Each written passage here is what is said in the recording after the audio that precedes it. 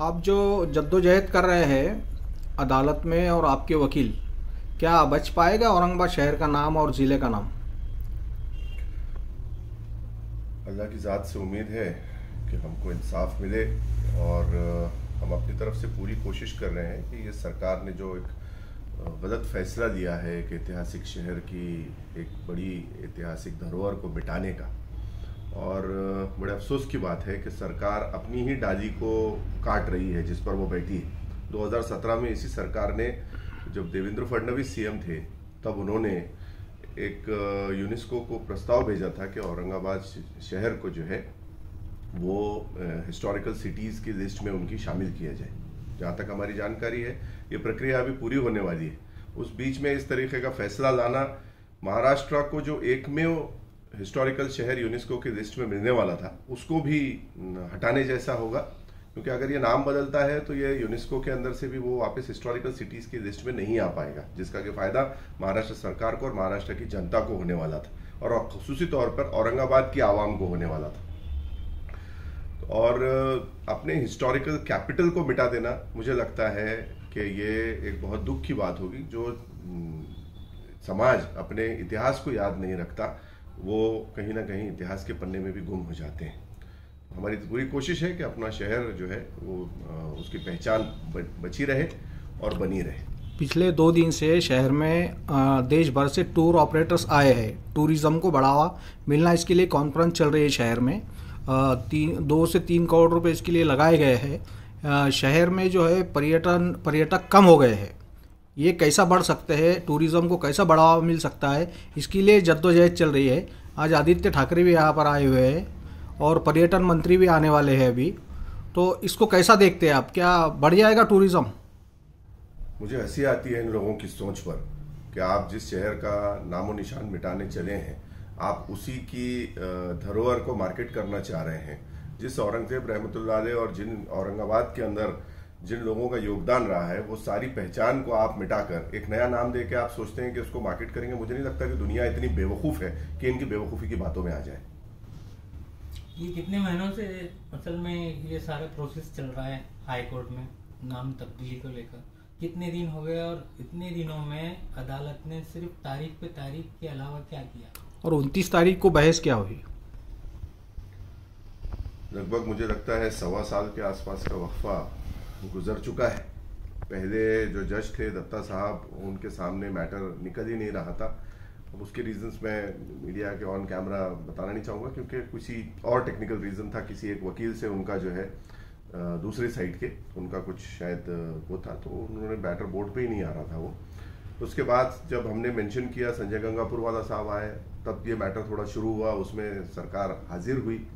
सरकार हाजिर होकर सरकार ने अपना जवाब देने की पेशकश की मेरे और मुश्ताक साहब के पिटिशन में। उसके बाद मेरे ख्याल से बिल्कुल भी सेटिस्फैक्ट्री नहीं था।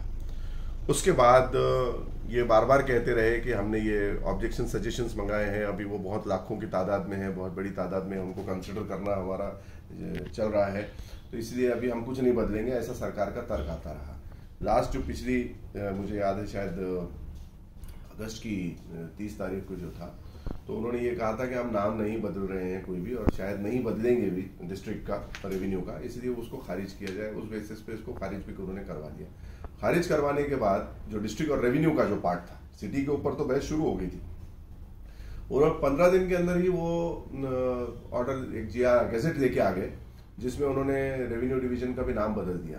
अभी पिछली उनतीस तारीख को यही बहस हुई हमारे वकील साहब एस एस खाजी साहब ने अदालत को यही बताया कि सर, इधर आपकी दिशा भूल करके ये लोगों ने डिस्पोज ऑफ़ करवाया रेवेन्यू के पार्ट को। और पंद्रह दिन के अंदर ये गैजेट लेके आ जाते हैं। इन्होंने जितने लाखों ऑब्जेक्शन सजेशंस का हवाला दिया था, एक भी ऑब्जेक्शन सजेशंस पे सुनवाई नहीं हुई। तो फिर ये ऑब्जेक्शन सजेशंस मंगवाए क्यों गए थे? अगर तो कंसिडर ही नहीं करना था तो जनता को आपने इतना हैरान क्यों किया? तानाशाही तरीके से आपको अगर फैसला अपना लागू करना था तो आपने ऑब्जेक्शन मंगाने ही। लोगों ने टिकट लगाए, लोगों ने सारा टाइप किया, अपना अपना ऑब्जेक्शन वकीलों के पास गए। वकीलों को भी कुछ लोगों ने फ़ीस दी होगी बनवाने के लिए, जाहिरी तौर पर। कुछ लोगों ने, बेचारों ने परभनी से, नांदेड़ कहाँ कहाँ से, तीन तीन, चार चार सौ किलोमीटर से दूर दूर से लोग आए, उन्होंने ऑब्जेक्शन सबमिट किए। और ये उम्मीद थी तो थी कि सरकार उनको हियरिंग के लिए बुलाएगी। और वो ऑब्जेक्शन बहुत पुख्ता थे। अगर वो ऑब्जेक्शन यहीं डिसाइड कर दिए कर दिए जाते तो अदालत तक ये मामला रेवेन्यू का भी नहीं जाता। वो यहीं फेल हो जाता था इनका जो प्रपोजल था, कि वो ऑब्जेक्शन इतने मज़बूत थे कि सारा साफ़ दूध का दूध, पानी का पानी हो जाता था उसके अंदर। लेकिन वो उन्होंने कंसिडर नहीं किए। जो सेंटर की गाइडलाइंस है, उसका खुला खुला उल्लंघन हुआ हुआ है। और ये सब करने के बावजूद फिर आप डायरेक्ट एक, पंद्रह तारीख को जीआर निकालते हैं, जिसको सोलह तारीख को सवेरे नेट पे डाला जाता है, पंद्रह को भी नहीं डालते हैं आप और आके डायरेक्ट मुख्यमंत्री यहाँ डिक्लेयर कर देते हैं शिलान्यास जैसे कर देते हैं। तो ये बहुत दुख की बात है और इसी के खिलाफ हमने अभी जो दूसरी पिटिशन दाखिल की है उसी के ऊपर लगभग साढ़े तीन घंटा बहस you with same name shall का वर्ड यूज़ किया है कैन नहीं मैंने ऑप्शन नहीं है। एक, अगर इसको लॉ की भाषा में बात करें तो ये सीधा सीधा था कि ये उसी नाम से कंटिन्यू करेगा। इस मुद्दों पे अभी बहस चल रही है। एक और तीसरा मुद्दा निकल के आया कि सरकार की मंशा ये वोट बैंक की है। ये आप अगर देखेंगे तो हिंदुस्तान में अभी तक जितने नाम बदले गए हैं बीजेपी द्वारा, या अभी शिवसेना तो यहाँ महाराष्ट्र के अंदर आए तो ये लोग सिर्फ़ जहाँ मेडिवल पीरियड के जो शहरों के नाम हैं, जैसे इस्लामिक हिस्ट्री अगर हम बात करेंगे कि यहाँ पे जो है मुस्लिम रूलर्स जो आए थे या, यहीं के जो पैदा हुए, जैसे औरंगज़ेब रहमतुल्लाह यहाँ पांचवी पीढ़ी है उनके हिंदुस्तान। तो ये जानबूझ के टारगेट कर रहे हैं माइनॉरिटीज का जो भी कंट्रीब्यूशन है इस कंट्री के अंदर उसको मिटाने के लिए। यानी कहीं ना कहीं कहीं जैसा अहमदनगर और उस्मानाबाद का। उस्मानाबाद औरंगाबाद अलाहाबाद आपके मुगल सराय ये सारे जो नाम हैं फैजाबाद ये जितने भी नाम हैं आपके अंबा चुगाई जो है वो पहले मोमिनाबाद के नाम से मशहूर था। ये सारे नाम जो है इसको ही मिटाया जा रहा है। एक भी एग्ज़ाम्पल ये दे दें कि हमने इसको ये जी ये नाम का ये नाम किया। ये जानबूझ के एक कम्युनलिज्म फैलाने की जातिवाद फैलाने की ये सरकार कोशिश कर रही है कम्युनल मोटिव से काम कर रही है।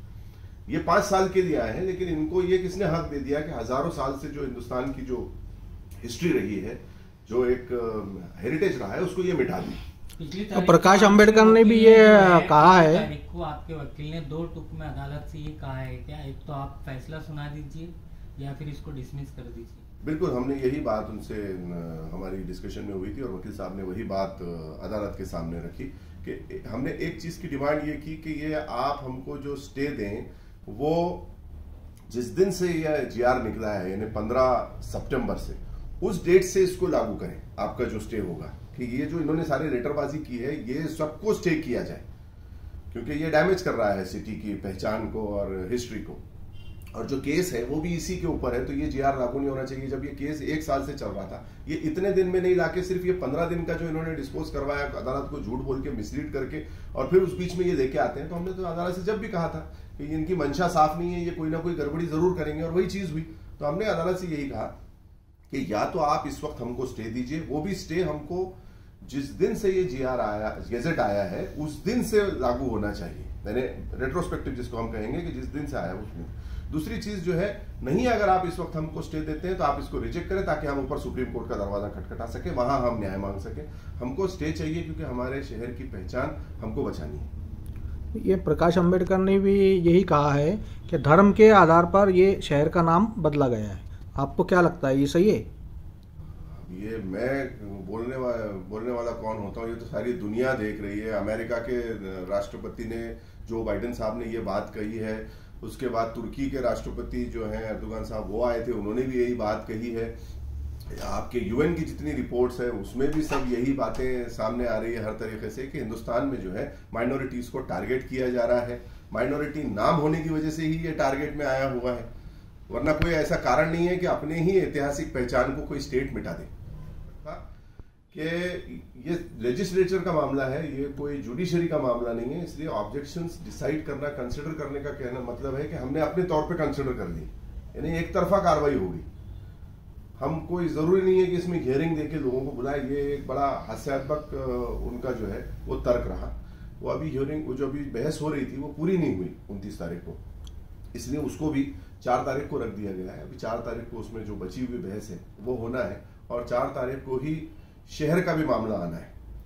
तो अभी दो मैटर अलग अलग चलेंगे। एक चलेगा रेवेन्यू डिवीज़न का जिसमें डिस्ट्रिक्ट तालुका डिवीज़न विलेज ये आता है और एक चलेगा सिटी का जो उन्होंने महानगर पालिका क्षेत्र का नाम चेंज किया। वो भी सेंटर की गाइडलाइंस का खुला खुला उल्लंघन करके उन्होंने यूज़ किया है। तीसरी चीज़ उनको कह, उनका कहना यह था कि सरकार को एमएलआरसी कोड में पूरे अधिकार मिलते हैं कि वो नाम बदल दें डिवीज़न का और डिस्ट्रिक्ट का जो है। हमारा ये कहना है कि ये जो भी आप, ये जो एमएलआरसी कोड सेक्शन फोर है, ये आपको सिर्फ़ अलाउ करता है, नया अगर कोई गठ तैयार होता है अमालगमेशन एब्जॉर्प्शन अल्ट्रेशन और व्हाट्स एवर मीन्स इससे अगर कोई नया रेवेन्यू क्षेत्र तैयार होता है, कोई दो डिस्ट्रिक्ट्स की सीमाओं में से टूट के कोई अलग निकलता है एडमिनिस्ट्रेटिव सेटअप जहाँ नया होता है, उसके लिए ये एमएलआरसी सेक्शन फोर जो है वो उसको अलाउ करता है, उसमें आपको सरकार को नाम रखने का अधिकार है। साथ ही इंसान की अगर उसमें भाषा में बात करें तो अगर कोई नया, कोई चीज़ पैदा होती है, कोई नया बच्चा पैदा होता है तो उसका नाम रखने का अधिकार सरकार को है। ये नहीं कि आप जो वर्षों वर्षों परंपरा से जो पुराना नाम चला रहे हैं, उसको बदल दे। उसी कोड में एक और नीचे सेक्शन है, जिसकी तरफ़ हमने उनकी तवज्जो और एक याचिका में भी डाली है। उसका सब सेक्शन थ्री है। वो ये कहता है कि जो प्लेसेस ये कोड बने यानी उन्नीस छिसठ से पहले जो अस्तित्व में है, उन शहरों के नाम तो बदले ही नहीं जा सकते। सरकार ने जो 20 मार्च 2020 को, सॉरी 4 मार्च मेरे ख्याल से 2020 को एक रिपोर्ट सबमिट की है यहाँ के डिविजनल कमिश्नर के पास से, उसमें ये साफ़ लिखा है कि औरंगाबाद ये शहर जो है, इस कोर्ट के स्थापित होने से यानी उन्नीस से पहले और महाराष्ट्र स्टेट जो बना था 1960 में, उससे पहले से अस्तित्व में है। और उसमें प्रोविज़न है। प्रोविज़न नहीं है एक्चुअली उसके अंदर इन्होंने वहाँ भी दिशा भूल की। उसमें उन्होंने दिखाया कि उसमें प्रोविज़न है कि जो पुराने शहर है वो उसी नाम से कंटिन्यू करें। जबकि वो कोर्ट कहता है कि प्लेसेस जो ये पहले से जो एग्जिस्टेंस में